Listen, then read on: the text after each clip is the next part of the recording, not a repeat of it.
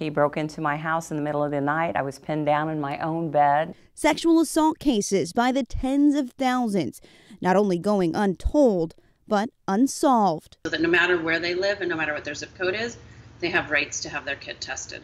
Ilse Knecht is a director of policy with the Joyful Heart Foundation, a nonprofit fighting to get the hundreds of thousands of backlog rape kits sitting on evidence shelves tested to clear more cases.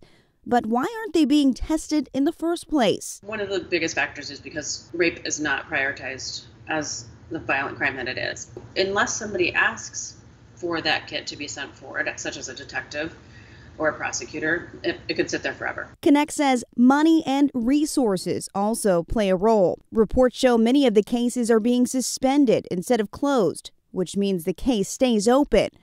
But that's changing slowly. We just had a big win in New York State.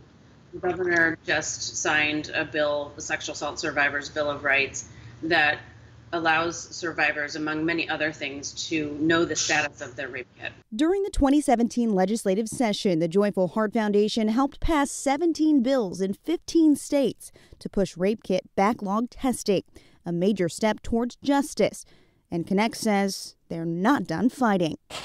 So it's really important that we make sure that every single rape kit that's been sitting on the shelves for years is taken off the shelf and is tested now and that going forward, every single kit that is collected is tested in a timely manner. I'm Nicole Vowell reporting.